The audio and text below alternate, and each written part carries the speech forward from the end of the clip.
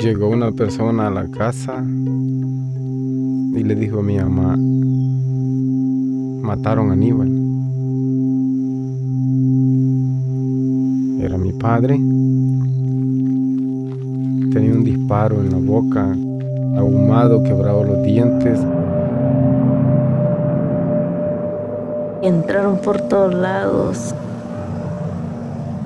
Sí, sentí miedo, se me revolvió el estómago.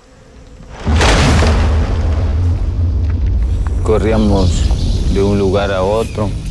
Por ti, hijo, me decía mi mamá.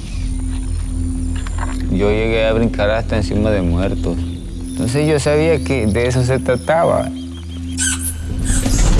De sobrevivir o morir.